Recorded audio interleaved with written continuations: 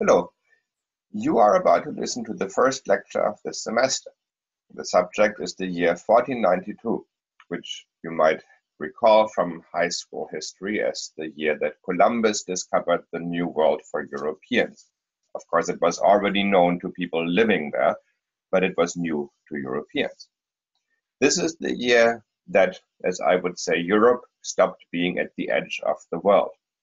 Because people at the time thought that the Atlantic Ocean was the end of the world. There was nothing much behind them. And they found out otherwise. But it's not just about the geography, it is also about the place of Europe in the world. Where does it fit in the bigger picture? Before 1492, Europe was a marginal part of the world.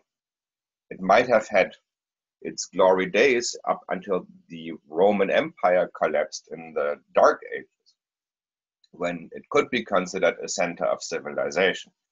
But in the 1400s, when Columbus and others set out on voyages of discovery, Europe was marginal. Asia, if you look at this map from the 1400s, was the biggest landmass of the known world, of course, as you see here. This is Asia, this is Europe, and then here, somewhat misshapen because largely unknown to people who are in the business of making maps, is the continent of Africa. Now, while this map is circular, certainly people at the time knew that the world was round rather than flat. Whatever disputes scientists had with the Catholic Church at the time were never really about the question of the shape of the world, not at that time anymore. It was about whether the world was at the center of the universe and whether the moon, the sun, the stars, and everything else rotated around the world, or as Copernicus discovered, that the world actually rotated around the sun. So the question here then was not one of um, whether or not the world was round. Sailors, in particular, had long known that if a ship sails away from you on the ocean, when you stop seeing it, it appears to sink behind the horizon. The last thing that you see disappear is the top of the highest mast. So you can actually see that there is a curvature in the thing, even if it's a big, big curve. Um, and another thing that people had a hard time wrapping their mind around was the idea that the world spins around itself because as they asked with some justification why don't you feel the the, the wind of the velocity? Um, so this map here and this speaks to the subject of how central or rather not europe was to civilization at, in the age was originally produced in mongolia which is a place in central asia where the Mongols have their home, who are, of course, among the great conquerors. Um, among different groups of Central Asian horsemen warriors who set out to conquer the centers of civilization. Uh, over the decades, over the centuries rather, the Mongols were among the most successful ones. So they had a business knowing what's where in the world because if you're going to ride your army of horsemen warriors across the steppes of Central Asia, the last thing you want is to be riding in the wrong direction for a whole day before you realize you have to turn around. Um, and then Europeans who produced this particular iteration of the map actually stole it, uh, not to mince the words here, uh, and copied it but it's based on the best known cartography of the time. And of course, if you look at it, what you see here, the Mediterranean is about the most accurate in terms of coastlines, all the way into the Middle East. This is where you would have um, the Holy Land. This is the Gulf of Arabia or of Persia, if you're Persian. Um, this is the Red Sea. But the Mediterranean is this accurate because here you can go back all the way to the Phoenicians, to the Greeks, and to the Roman Empire, for whom the Mediterranean was like an inland sea. They called it Or ocean, Mare Nostrum. And so there, anybody else who started making maps could simply take the work the Romans had already done and work on that. But also over here on the east, um, on the eastern edge, China, the coastlines are accurate. And what is relevant for people who go out to sea is, of course, knowing where the river mouths are, where the ports are. And that, in fact, is all correct, all the way from Arabia across India. This would be Sri Lanka, somewhat outsized because it was very important as a as a, a transshipment station between the Arab world and China to Beijing. And Japan is kind of marginal, but it is also on the map. And you have Korea here. You have, um, I think this would be Ceylon, the Philippines. So it's all there. Um, and with Africa as well, down to Madagascar, all the way where you had trade conducted by Indians, the Chinese, or Arabs, people knew what was where. And this map just takes it all together. Now, um, the red dots here represent places on the map, places in the world where around 1400, if you happened to travel back in time, you wouldn't be utterly lost uh, out of culture shock or because of the absence of culture. If you're looking for civilization, which includes good government, the rule of law, indoor plumbing, uh, a variety of food available, fresh water, education, universities, and so forth, then uh, your best bet would probably one of these three places. There you have Beijing, which is the center of government and culture for the Chinese Empire, which goes back more than a thousand years. Baghdad, which is the uh, administrative and spiritual center of the Muslim world, the civilization that has inherited most of what the Greeks and the Romans had built, and the, and Muslim civilization is building on top of that. So they still read Greek philosophy, they read Roman literature and statecraft. And finally, um, here, the city of Constantinople, which is a Christian, Greek speaking city that is the capital of the, the Byzantine Empire, um, where you have Greek Orthodox religion, and that traces its origins back to the Roman Empire. It sort of split off from the Roman Empire um, before the fall of West Rome to the uh, onslaught of Germanic barbarians from the north. Now, the Muslim world sits at the center of it all. Um, in fact, Baghdad, where most of the important theological uh, faculties are, where there is medicine and philosophy and astronomy being taught at the university, is the oldest site of human civilization, um, or arguably it developed there concurrently with China. So you have two, possibly two sources uh, where humans first started. Importantly, you know, to do agriculture, to form governments, to have laws. Um, Baghdad in the very fertile region between the Euphrates and Tigris rivers in modern day Iraq, of course, um, is one of the places where that is possible, where it's easy, relatively easy to do agriculture, and where you get the high yields that mean that the society is wealthy enough to set aside a few people who get to do nothing but think about the meaning of life and become priests, or think about the common good and become kings and nobles. You can't do that if everybody is constantly busy working for survival. So you get civilization.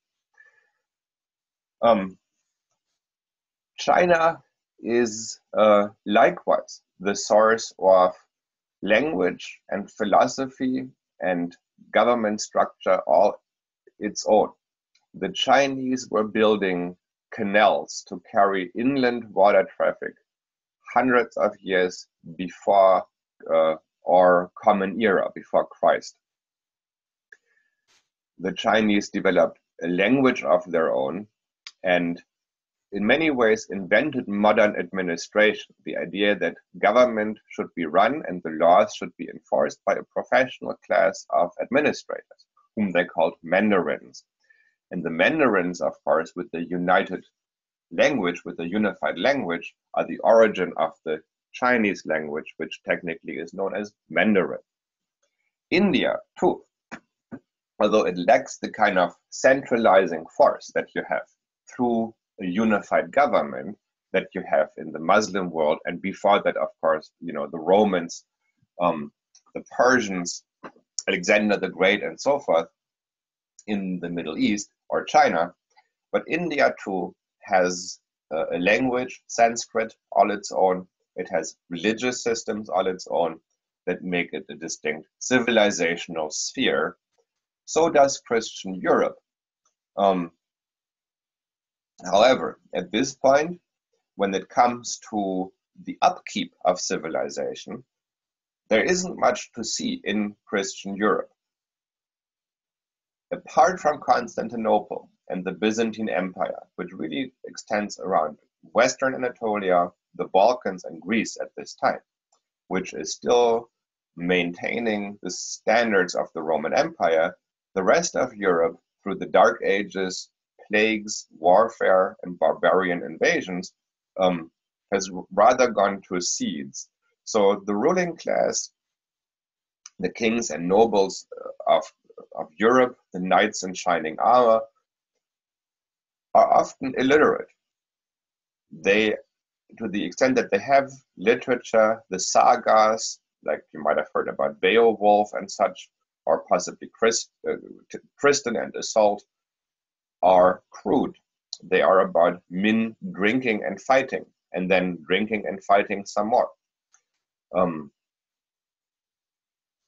the peasantry of Europe live in isolation in their villages. They are overworked and they have to fork over most of their produce to either the church or the nobles. So, for that reason, Europe is clearly a backwater at this time. And if you're looking at exploration and world conquest, nobody would have, least of all Europeans themselves, in 1400 would have considered Europe a candidate for becoming a dominant force in the world. Now, the fifth region here that we can identify as a distinct civilization uh, is Africa. Africa was isolated because of the Sahara Desert, um, which is difficult to cross, although people did so in uh, camel caravans, of course, that converged onto the city of Timbuktu in modern day Niger, where uh, then different routes would branch off into uh, the kingdoms on the on the West African coast, which much later um, would, of course, become the the main points of enslavement, where Europeans would go and, uh, and enslave Africans. But Africa was isolated not because it lacked things, but rather because it had everything it needed. Um, to the extent that other people, Europeans or Muslims, knew anything about Africa, it was legends of fabulous wealth. Uh, kingdoms where the capital cities had streets paved with gold, and everybody, even the poorest, were constantly eating fried game birds and uh, lacked nothing. These stories, of course, sound familiar if you've heard about legends de- de- dealing with the New World. People were also talking about streets paved with gold with some justification. Um, when they mythologized the Aztec and uh, and Inca empires, in the New World. But in Africa, in fact, this is somewhat closer to the truth. Africa is a wealthy continent. Africa has natural resources as well as a climate that means that people really don't have to suffer uh, from lack, from want, um, which you wouldn't know if you look at both the reality and the, the image of Africa today. But of course, the the Africa of today, as a continent characterized by famine, warfare, uh, deprivation, is the result of European imperialism and colonization. It continues to be a source of tremendous wealth for those who are in a position to exploit it, this continent. For instance, um, Zimbabwe is home to two thirds of the known copper reserves in the world. And there are other minerals, if you happen to have a cell phone, if you're watching this lecture on a mobile device like a tablet, uh, you wouldn't be doing that if not for uh, the mineral, for the mines of central Congo, Rwanda, Burundi, that region here, where most of the specialized technology that we use today uh, needs to go to find the minerals. Now, the civilizations identified here as the main um, spheres of, of culture, of distinct cultures in the world around 1400 in the old world are linked by what I've circled here in blue, bodies of water. At the time, the fastest way to get places over land, if you do have good roads, and you really don't as a general rule, is by horse. And the horse gets tired. Eventually, you'll have to rest. So you don't get places quickly. If you want to get somewhere quickly, or if you have bulky things or any things at all to haul, if you want to trade, then you're better off traveling by water because if you have a sailing ship, the wind does not get tired. The wind does not have to take a break. Therefore, um, whereas today we often think of rivers and oceans as something dividing people, uh, definitely at this time, before you had steam power to travel, before you had planes, oceans were what connected people. If you have a body of water in between two places, the people can meet and interact. So, in fact, if you have uh, merchants on the coast of Italy, they would be much more likely to have met in person Arabs from Libya than Swiss peasants from the Alp mountains because in terms of travel time, what's in the Alps, what's in these inaccessible mountains here, or what is beyond the mountain passes in Northern Europe is further away than um, your Arab world, your Muslim world on the south shore of the Mediterranean. And the same is true for the Indian Ocean, the China Sea, and all those places. They connected people, they brought people together. So there is a system of world trade before the new world comes into the picture. The arteries of this system are shown here in blue, are sea travel lanes. From China all the way to Sri Lanka, which I mentioned before, it is mostly a matter of Chinese merchants conducting this trade. Between India and the Arab world, you have mostly Muslim traders, Persians and Arabs uh, out of the city of Basra or out of uh, Alexandria in Egypt that carry the trade all the way down to um, Zanzibar and Dar es Salaam off the coast of modern day Tanzania, where um, you also would get Indian and Chinese merchants meeting up here. In the Mediterranean, it is mostly the Italian cities of Venice on the Adriatic Sea and Genoa, which is on the Mediterranean, whose merchants carried the trade between Europe and the Levant, which is to, see, to say the eastern shore of the Mediterranean, as well as Constantinople and the Black Sea and the port of Kaffa, which is the furthest inland you can get by traveling over the Black Sea, this barrier. in um, this purple color here, I've also added a few land routes. Again, you know, with the caveat that they can't carry quite as much traffic as the sea routes, but they are important auxiliary elements of this world system. One is the most important one is the one through the desert from the Levant to Baghdad. And of course, before you get to Baghdad, long before you get to Baghdad, you don't have to traverse that much desert before you get to either the Euphrates or the Tigris rivers, and then it's river transportation all the way down to the port of Basra.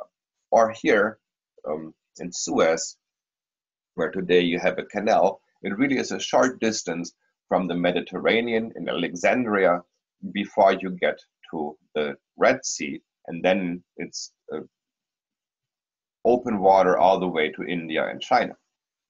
But this is an important shortcut for the spice trade and uh, other things. Here you have the caravan route across the Sahara, um, which ties Africa into this system to some extent. Here um, are routes across the Alps from northern Italy to northern Europe, where you have kind of a sideshow to this system with the Hanseatic League, that is a seafaring uh, alliance of mercantile cities that conduct trade in Northern Europe. And there are a few strategic resources that Northern Europe um, contributes to this system, notably tar, which is required to make wooden ships better at holding up at sea by filling in the cracks in between the boards out of which the ships are made, as well as amber, which is a precious stone, or it looks like one. that's actually um, tree resin that has been compressed through geological processes, uh, but it looks amber. It has that amber color and it's translucent, so it's quite beautiful. And it is uh, in demand elsewhere in the world for, uh, for jewelry. And then finally, the longest overland route that you have is known as the Silk Road, which really isn't a public highway or anything. It's more like a notion that if you keep traveling this way and you get to another trading city down the road, you'll eventually make it to a place where they manufacture silk, a fine cloth um, woven by caterpillars that eat a particular kind of plant and that excrete um, gossamer strands that can be woven into very fine, uh, almost magical uh,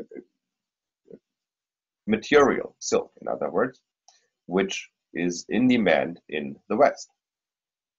And of course, another thing that is produced in China and is unique because of the, the clay as well as the manufacturing processes that they use to make it is the, um, the the cups and saucers and so forth that are known as china, porcelain. And silk is a good item to consider when we think about world trade in this day and age. When we think about what it is that people trade in between these different civilizations. Silk is a high value added, low weight commodity, and it's also low bulk you could take a caravan of horses with a bunch of armed people that have to guard the gold that you're taking to trade in once you get to China.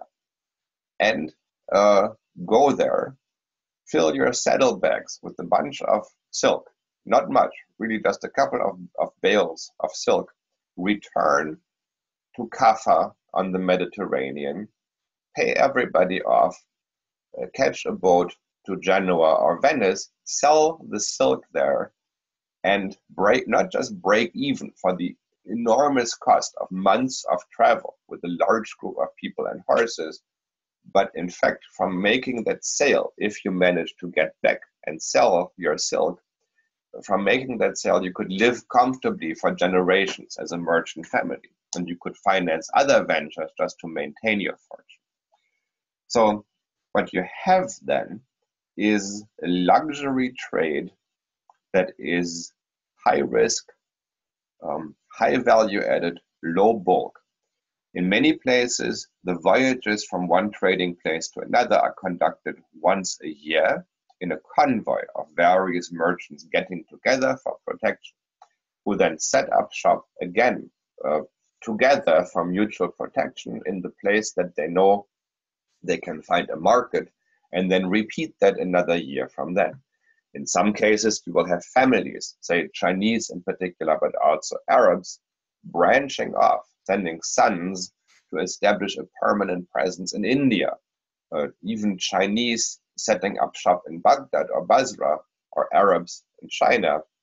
Um, another group that does this is Jews from the both from Europe and from the um, Middle East, and they follow in the footsteps of the Phoenicians in doing so.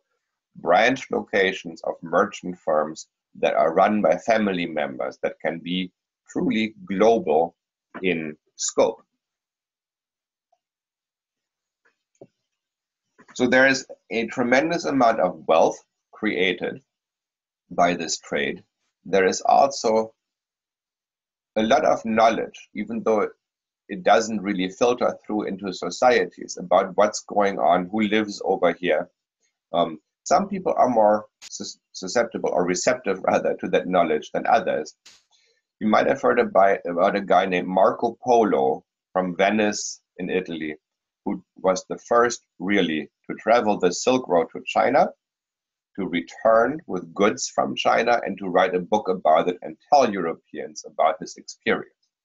His accurate travel narrative of what it's like in China, that you have a whole nother civilization over there, was widely ridiculed and dismissed as a poorly thought up fiction because, after all, Marco Polo failed to mention the giants, the one eyed giants, and the flying horses, as well as the scaly, fire uh, breathing dragons that Europeans knew, simply knew from the map material they had been using to be living in these regions. So if Marco Polo says he traveled that way, he'd never met a dragon or a centaur uh, or any other such creature, then clearly he made up the stuff. But as a general rule, the governing elites, the intellectuals, people who were in universities and had read a couple of books knew vaguely at least what was out there, who else was out there, and how they were doing business. 99.9% of the world's population had nothing to do with that kind of world system and that kind of world trade. They were neither traveling places nor were they in the market for silk or spices or china or gold because they were subsistence um, farming peasants. They didn't really know much about what was going on outside of their village. They didn't leave their village they might have had only the vaguest idea of what it was like the next village over. Nevertheless, because there is so much money at stake in this trade, it shapes the decisions by governments in dealing with other places and in allocating their resources. Now, if we return now to the original consideration, how come that Europe, which is marginal in this world system, comes to play such a prominent role as a colonizer, dominating the world in the 19th century, let's look at England, which in the 19th century is the world empire. In this in, in, the, in the years that this map uh, covers, the 1400s, England is barely on the map. It is somewhat misshapen here, which tells you that people who practiced cartography didn't really quite know what it looked like. And it's clearly on the edge of the map here. It is marginal by definition. So it isn't really the English, but um, the Chinese who were the first world explorers. Um, and this wouldn't be surprise isn't surprising if you know what the world looked like in 1400. The Chinese government in 1400 commissioned Admiral Zheng He to sail out with a large fleet of military vessels that also carried merchants to take a look at what else is out there in the world, or to have a more systematic account of the geography and culture, of the systems of government, etc., in those places that the Chinese surely knew were out there. But they wanted to know for sure that, for instance, they hadn't missed any opportunities for trade and also that there were no threats that they had been previously unaware of. Um, one part of the mission was to uh, insist to the king of Ceylon or Sri Lanka um, to allow Chinese and Arabic traders to, to use his island as a way station and to conduct trade there without having to pay exorbitant amounts of taxes or fees to uh, the Sri Lankans. So, in a way, this is the first uh, military mission uh, to establish free trade by going someplace and saying to the king, uh, either you're not going to collect money from our merchants or else. And in fact, they captured him and took him back to China in the end. Um, this fleet went on its voyages that took it all the way to Mombasa, modern day Kenya, just north of Tanzania. And you would get to Zanzibar down here, to um, Jeddah, the port near the holy city of Mecca, to Hormuz, which is on the Persian or Arabic Gulf. And then, of course, Basra is here and Baghdad over here. Um, so anything worth visiting, they went there and looked at these places. Um, they did good business, but they are ultimately returned with the message that no, there isn't anything out there that is a threat to China, nor is there anything that is worth conquering. And in 1433, um, the empire, the Chinese empire, uh, wrecked the fleet. They decided they had no more need for it, and it cost a lot of money that he could spend better on other purposes. So that ended this um, world exploration attempt by the Chinese. But again, to provide perspective, um, here you have a scale drawing of one of the ships in the Chinese fleet out of the early 1400s. These ships were marvelous. They had gardens where you could, where they were growing vegetables as well as spices so that you could have your Chinese food no matter where you went. They had stables for um, for animals, for milk, for instance, but also for food. They had musicians, interpreters, writers. In other words, each of these ships, and there were dozens of them in the fleet, was like a small city, was like a microcosm of Chinese society. For comparison purposes, down here, the smaller vessel shows a European seafaring vessel in fact, this is meant to represent Columbus's flagship, which of course uh, dates to 1492, whereas the Chinese ship that you've got here dates to 1405. Even then, at this point,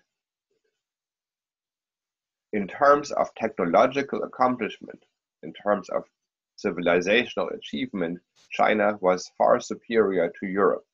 If for some reason the Chinese fleet had sailed to Europe and had discovered Europe um, or the New World, it is easy to imagine that they would have been in a position to conquer one or the other of these places if they had been interested in doing that. Here is a photograph of a mall in Shanghai, which has a later um, European, later model European vessel, as well as one of the Chinese vessels uh, to scale. And from this angle, you can see um, just how large these vessels must have been.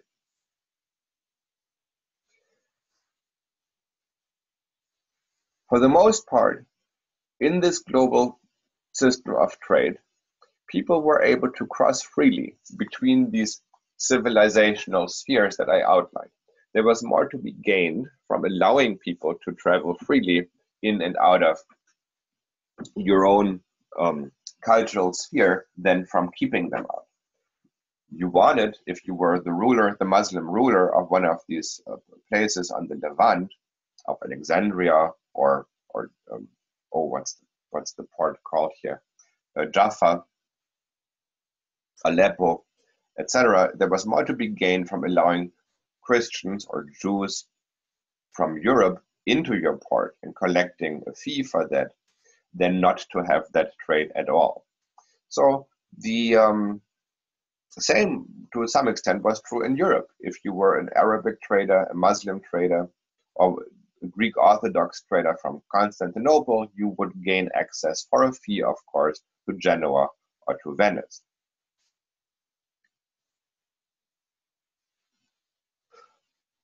What you see here then is kind of a, um, a close-up of this part of the world. Venice and Genoa are shown as important trading cities in Europe.